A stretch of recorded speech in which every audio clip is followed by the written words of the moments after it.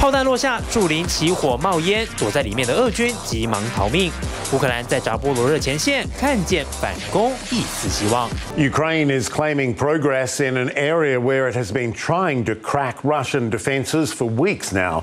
Kyiv says its forces had what they described as partial success near the city of Robotyne in southern Ukraine. 乌军在罗伯纪念附近夺回领土，这条战线的目标是一路打到梅利多波尔和博德扬斯克。乌军参谋部说，反攻开始后，这边已经打了三十三场硬仗。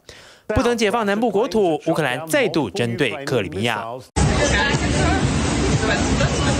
浓浓白烟，远方都看得清清楚楚。科治大桥不到一年内又被炸了第三次。不过，俄罗斯国防部说攻击没有得逞。Russian officials suggesting that this was two, possibly three missiles aimed at that bridge, an adapted S-200 anti-aircraft missile. 而几小时前。黑夜爆炸火光，俄罗斯说在克里米亚拦截了大约二十架无人机，一下飞弹，一下无人机，乌克兰发动连环攻势。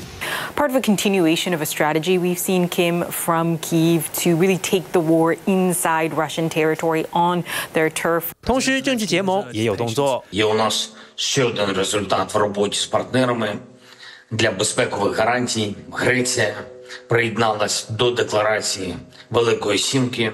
щодо гарантій, гарантій для України. Це вже 14 країна.